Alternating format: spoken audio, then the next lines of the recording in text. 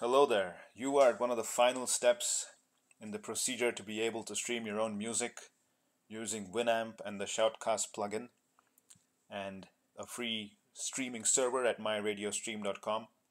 This video assumes you've gone through my blog um, fourmark.blogspot.com and you've done the steps prior to this one and you've signed up for an account and installed Winamp and everything else and also started your streaming server and if you haven't started your streaming server you'll see a green button called start. Click that.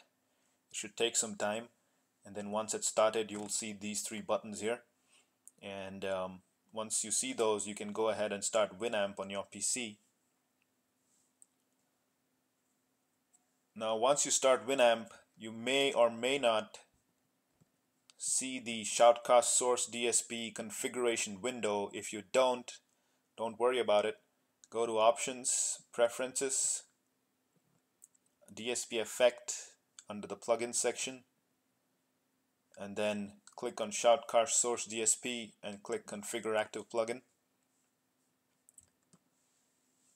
So there are five possible simultaneous streams that you can do. Um, we will just configure the one for now. If you go back to the website and go to server settings you'll see something called the server address copy that and this is the server address that your Winamp software will connect to. And then copy the port and paste it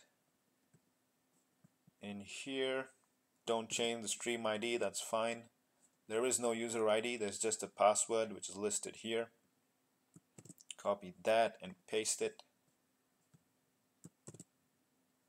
change the reconnection timeout to 30 seconds.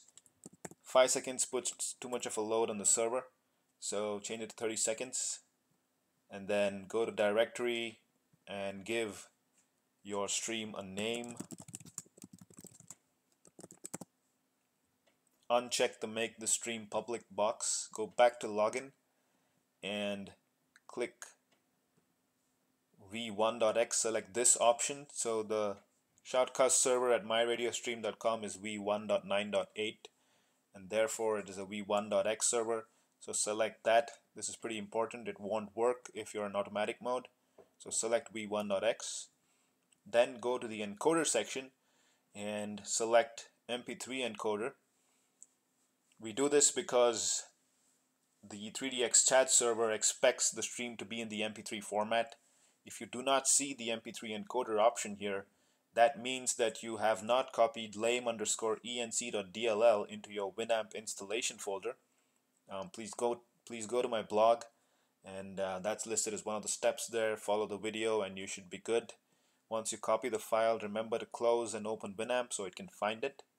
And then go to encoder settings and then set 128 kbps and 44.1 kilohertz stereo. Once you do that, you should be good to go. Recheck everything make sure that your server is started and do that by refreshing the page. And as you can see here my server is still up. Go back to Winamp and then on the output section click connect.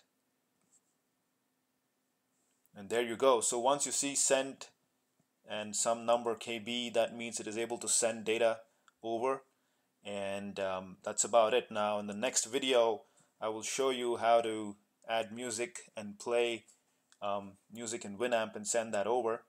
But at this point you have successfully connected to your streaming server. You are sending data and anybody with the streaming URL which is basically the direct stream URL over here can listen to anything that you play in Winamp or even any audio on your PC that's about it for this video. Thank you very much. You are close to the end and I'll see you in the next video.